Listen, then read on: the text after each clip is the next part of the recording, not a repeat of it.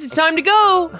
Dad, are you gay? What's with the purse? Shut up, stinker. I'm sneaking snacks into the movies. I'm not paying $40 for M&Ms. Ooh, Dad, can we get pizza? No, that's overpriced. We can have pizza at home. Come on, we're gonna miss the trailers. Man, when's the movie gonna start? Any minute now, shut up. Dad, Tinker is being a popcorn hog.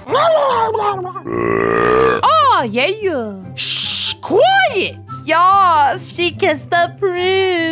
Shut up, brats. I can't hear the movie. Eat my shorts. Why, you little bit. Ah, she hurted me. No one slashed my sister but me. Manager! NANI?